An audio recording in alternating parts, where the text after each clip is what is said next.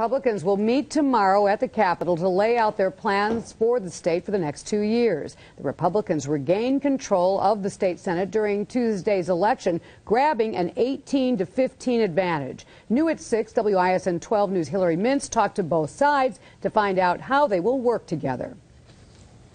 With just a few hours of sleep post election, Governor Scott Walker stops by Vet Transfer in Milwaukee Wednesday morning to hand out state grants to the company which helps veteran entrepreneurs.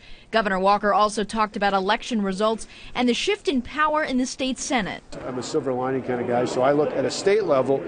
Uh, while the federal races didn't go the way I'd hoped, at the state level, uh, the Wisconsin State Senate uh, returned to a Republican majority. Walker says the focus remains on crafting a balanced budget and creating 250,000 jobs. After leaving vet transfer, Governor Walker went right back to Madison for budget meetings. And with Republicans now in control of everything, he still hopes that everyone can work together. Republican Senator Scott Fitzgerald will likely return as majority leader in January and says full power eliminates gridlock. Uh, you know, we've got some unfinished business, and I think the one that most people are still talking about is the mining bill.